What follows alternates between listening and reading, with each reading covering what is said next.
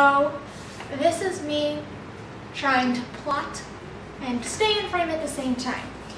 Um, so these index cards, I'll get closer, are, and they probably will not focus too well, but they're like scenes.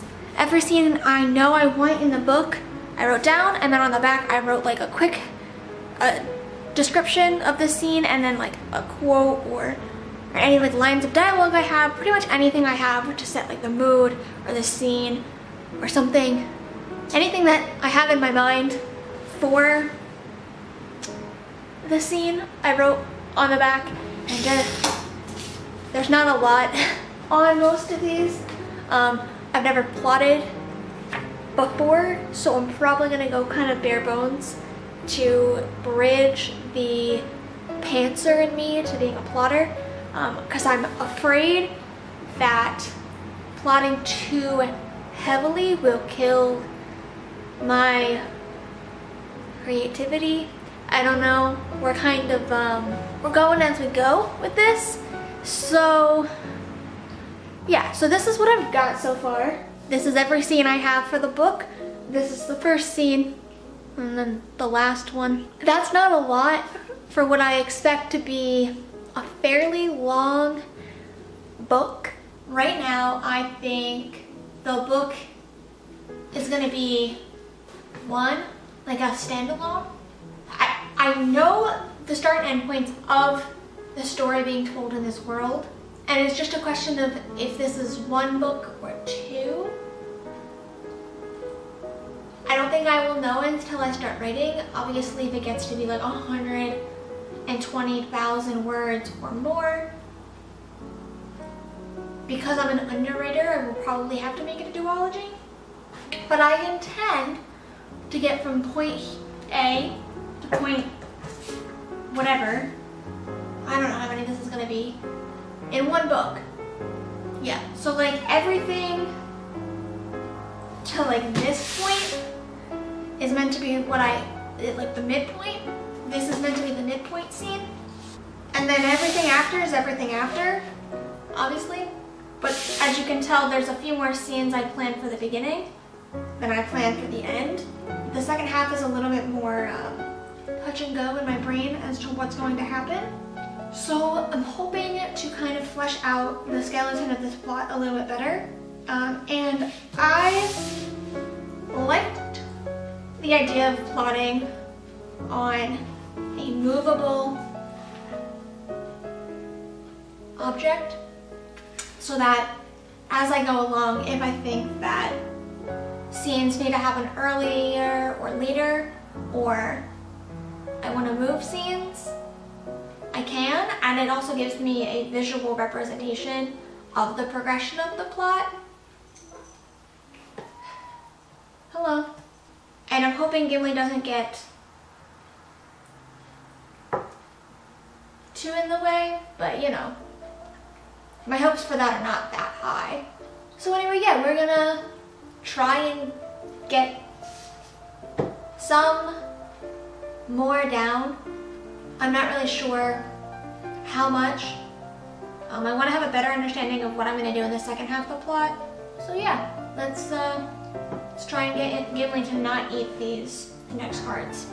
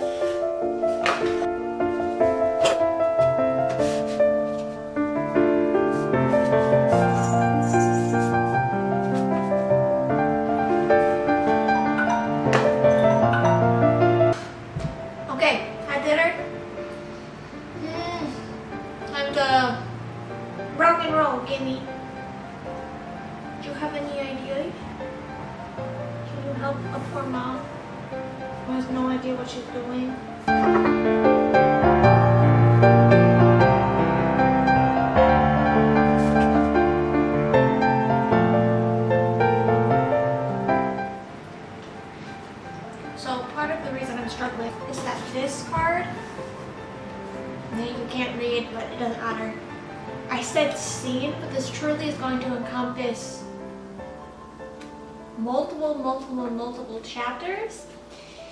And you might be saying to yourself, okay, well then you can take this, pull it out, and split it up. But I don't think I'm going to. I think I'm gonna leave.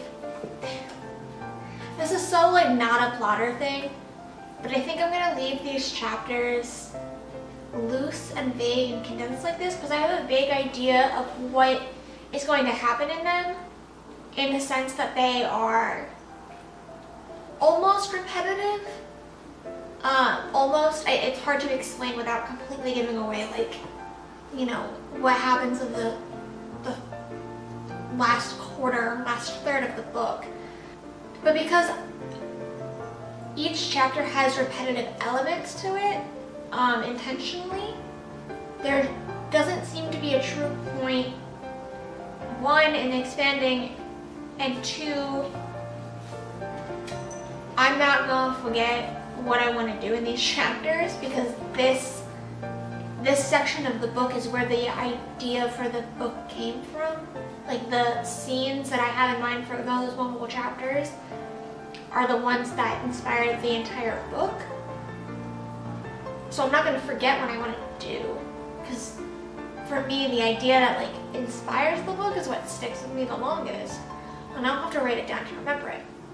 So that's why this is going to end up looking a bit more scant because this I think in reality if I were going to like break it down into scenes and I like I really mean scenes like I would say some of these aren't even full chapters but they're the the main nucleus of the chapter that they're going to be in and I'm going to pants my way through the chapter like between chapter nuclei if that makes any sense, just because I think that's what's going to keep me writing is trying to figure out connecting point A to point B, but knowing I have A, B, C, all the way up to like, I don't know, and plot it out as opposed to when I wrote the, the book I'm currently querying, I definitely, I headlighted it, I didn't even know the end.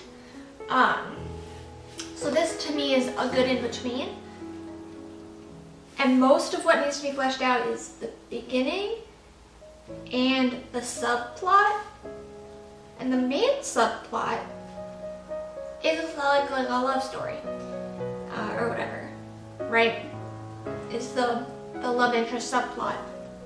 I have never written a love interest subplot because there is there isn't a love interest subplot in the book that I'm querying. It's a series with a romance in it, but it's a slow burn romance that does not develop in the first book. Or like, it, it's not really a love plot at that point in the first book, so I haven't had to write like a love subplot yet. And there has to be one here. And also it has to be in one book compared to four. And I'm a slow burn romance kind of lady.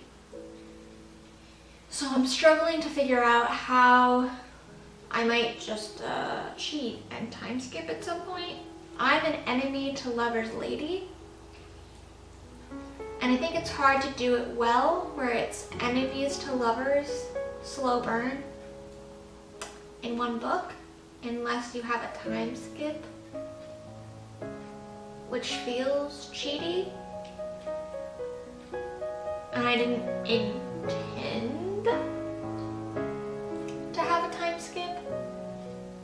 otherwise, it, I feel it's going to feel um, rushed to have them go from enemies to lovers. So, um, that I'm probably going to pants the entire subplot. And I'm probably going to regret it. I have like key points in the romance. Uh, if you have any recommendations for a slow burn romance that is enemies to lovers and happens over one book and you think it's done well, please let me know what they are. Because I think that's the sort of thing where I need to read some of it. So I will put all of my other uh, TBR on the back burner to read a book that has that in it. Because the love subplot is crucial to the main plot. You can't write it out.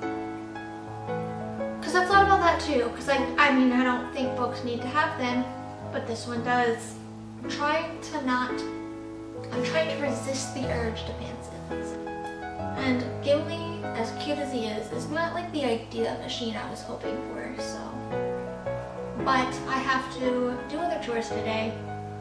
Yeah, it's 8 o'clock at night on Tuesday, and I work a full-time job. And I've been doing this since I got home, so about two hours.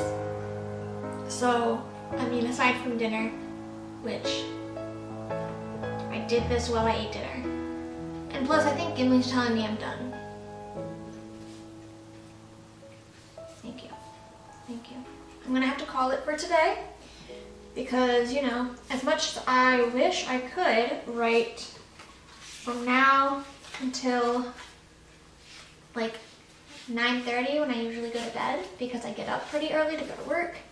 Even though I don't work till 10, I like to get up and have a slow morning and, you know, tell myself I'm gonna go for a run and then I don't. So, because that's the reality of life and I do not get the ability to write full time and I have to work a job. This is as far as I think I'm going to get for tonight. I'm going to, you know, work on it at my lunch break tomorrow. I don't think I'll film that because it's not like I'm going to bring my camera to work. Um, and I'm hoping this weekend I will start actually drafting. The thing I know about myself is that when I get a new idea, I would like to have as much a single block of time to draft uh, as possible. I really figured this out about myself in my creative writing class in college. When we had to like write short stories, I realized like for the first draft of my short stories, I wanted to, and I wanted to do it on a weekend when I could take as much time as I needed to get all of my creative energy out basically um, to completely expend myself creatively in a day and get as far as I could drafting and like get my mind as deep into writing and the story and that world as I could at the time. And that sort of helps me then jump because like I said I'm a pantser so from there like when I get myself deeply invested I will be writing one scene and my brain will populate scenes later on in the book. So I'm probably to start drafting this weekend. That's where we are in trying to draft my second full-length novel. I will see you in the next video, so bye! That was a cheesy ending.